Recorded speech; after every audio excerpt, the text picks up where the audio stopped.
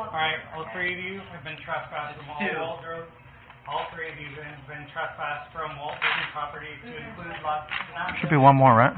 theme parks, water parks, resorts, and Disney Springs for conduct not welcome on Walt Disney World property. This is a trespass warning. You're hereby warned that you're not authorized, licensed, or invited to be in these premises and may be arrested if you refuse to leave or return at any time in the future. Or, I have a question. Found on any, I have a question, Mr. Kent. you walked Yeah. in, because you and I walked in Do here. I get my money back for the hundred seventy dollars? No. Perfect, okay.